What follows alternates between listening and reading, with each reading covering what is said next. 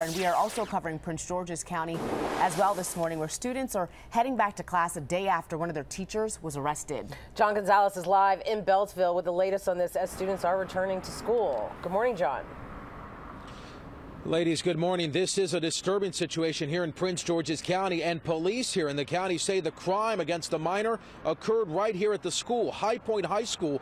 It will be a very difficult day here at the school in Beltsville, Maryland. This will be the first day back for students back to class since the news broke yesterday about one of their teachers being behind bars. 32-year-old Andre Brown, not only a current teacher here at High Point, but also a former athletic coach. He has been charged with sexually abusing one of the students. And again, here on school grounds, police say the incident allegedly occurred last fall when the girl was 17 years old. She came forward to police a couple of days ago. Detectives talked to her and her family, investigated this, and Brown was arrested at his home yesterday, and we understand he admitted to the crime. Now, it's unclear if the student was one of Brown's students last fall and how long he has been a teacher here, but again, he admitted to the crime and is currently behind bars. Reporting live in Beltsville, John Gonzalez, ABC 7 News.